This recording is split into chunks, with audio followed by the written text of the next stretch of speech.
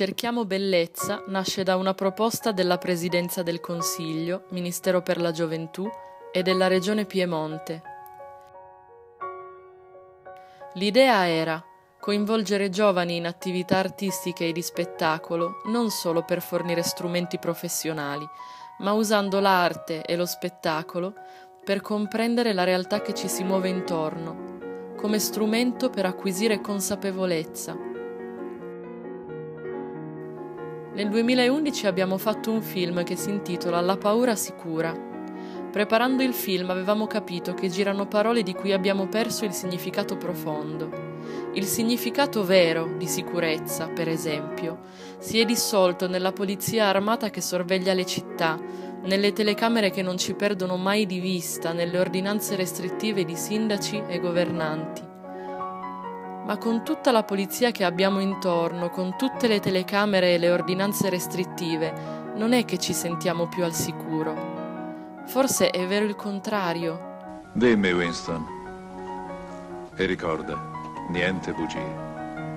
Quali sono i tuoi veri sentimenti verso il grande fratello? Lo odio. Devi amarlo. Obbedirgli non basta. Devi amarlo. Stanza 101. I cosiddetti sistemi di sicurezza sono sempre più una prigione che ci costringe il corpo e anche lo spirito. Il film finiva con questa frase. Alla fine di questo viaggio nelle paure degli italiani una cosa l'ho imparata. Ho imparato che la sicurezza, più che con la polizia, le telecamere, le ordinanze, ha a che fare con la conoscenza, con la verità, con la bellezza.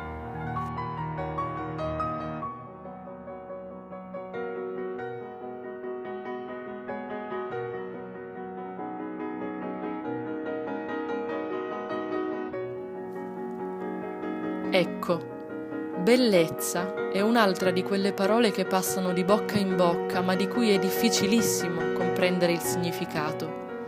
Da qualche tempo tanta gente parla di bellezza, i politici per esempio. La bellezza è il petrolio italiano, si sente ripetere. Ma cosa significa? Così abbiamo pensato che il progetto che ci proponevano poteva servire a capire qualcosa sulla bellezza. Per cominciare, siamo andati in giro per il Piemonte a mostrare la paura sicura in scuole, associazioni, parrocchie, in posti frequentati da giovani. Le prime persone che ci hanno dato retta le abbiamo trovate a Vercelli e allora cominciamo a cercare bellezza a Vercelli, una di quelle province che leggi sui cartelli mentre vai verso metropoli come Milano, Torino, dove la vita e l'arte vibrano veramente ma la bellezza è meno evidente di quanto pensiamo. Vercelli è la città del riso. È un gioiello medievale con chiese bellissime. Questa è la chiesa di San Cristoforo affrescata da Gaudenzio Ferrari, il più grande artista del Rinascimento piemontese.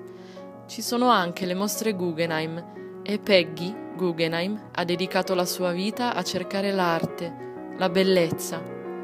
Il padre di Peggy era sul Titanic quella notte e quando capì di non avere scampo, l'ultima cosa che fece fu indossare il suo abito migliore e Peggy, che era una bambina, ereditò un patrimonio immenso. Anche noi italiani, tutti, abbiamo ereditato un patrimonio immenso, ma questo patrimonio sta sprofondando sul Titanic dell'incuria senza nemmeno un buon abito con cui darsi la dignità della fine. Qui a Vercelli, però, hanno costruito un'arca per portarla in salvo un po' di bellezza. Viali alberati, la Basilica di Sant'Andrea. Arrivi all'arca e sembra di stare a Parigi con anche i bambini dell'asilo che si godono i mobili di Calder, gli sghiribizzi di Miró e la fila di adulti in attesa per entrare.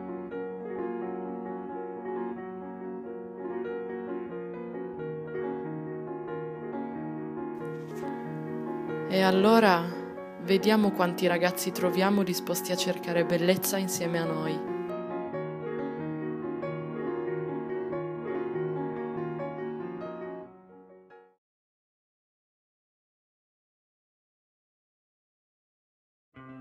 Arriviamo a Vercelli d'estate, le scuole sono appena finite.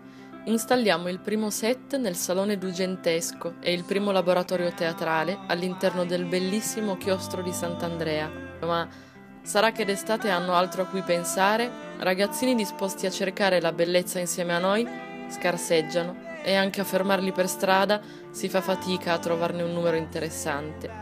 Ma dove sono tutti? Dove stai andando tu? Chiedo ad uno che passa. Al centro estivo. Ecco dove sono tutti. Ma come abbiamo fatto a non pensarci? Arriviamo all'oratorio Belvedere. È già in periferia ma non è difficile individuarlo, basta seguire il vociare tipico. Ci viene incontro un ragazzo che dice di essere Don Matteo Siamo lontani anni luce dal bel centro medievale e dai giganti dell'avanguardia, ma noi qui abbiamo tutto, anche una mensa. Mangiate con noi? Grazie, salone dugentesco, splendido chiostro. Noi ci trasferiamo al centro estivo Belvedere, confidenzialmente Belve. Entusiasma sentirsi benvenuti, ma di cosa esattamente parleremo con questi ragazzi? L'arca e i tesori dell'avanguardia sono a due passi, ma questi del Belvedere li avranno mai visti?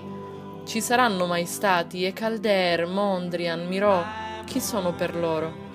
Le risposte le avremo, ma intanto Don Matteo ci porta dove sa lui. Si chiama Area 24, un numero per un non luogo, che però è il padre di tanti dei suoi ragazzi, che qui ci lavoravano e adesso dismissione totale, un mondo di lavoro che non c'è più. È quasi come una legge del contrappasso, tanti del belvedere è qui che passano il tempo quando non c'è l'oratorio, di notte, per esempio. Un agglomerato di edifici industriali completamente vuoti, muri muti che non possono più raccontare, che però qualcuno vivifica a suo modo. Graffiti, tantissimi ed alcuni bellissimi, che raccontano un altro presente. Mattinate di fughe da scuola, piste da skate autoprodotte, nottate anche creative che lasciano una qualche forma di bellezza. Tutto questo a Peggy sarebbe piaciuto moltissimo. Bellezza amara, cruda, controversa, cattiva, violenta, buia, ma bellezza Qual è stato il tuo giorno più bello, Giacomo? Anna, Andrea, Giovanni, Giuseppe?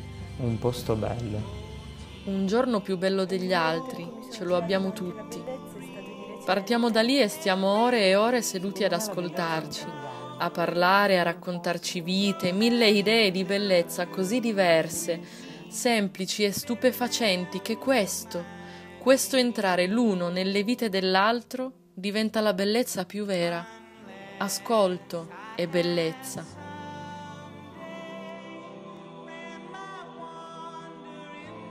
Poi ci sono stati incontri nelle aule magne delle scuole, nelle classi, nei laboratori, nelle loro feste, i pranzi nell'oratorio, il centro estivo. Tanti incroci e scambi culminati nei rave teatrali per tutti quelli che volevano esserci. Tutti? Ma quanti sono? Centinaia, non importa, facciamo che incontriamo tutti quelli che vogliono tutte le volte che possiamo e vediamo chi resta.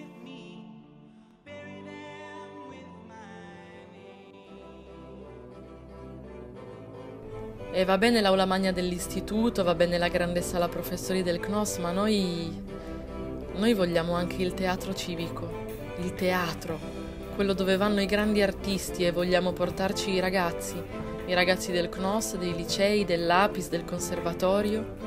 Per quasi tutti è la prima volta nel teatro più bello e grande di Vercelli e adesso, su quel palco, ci sono loro.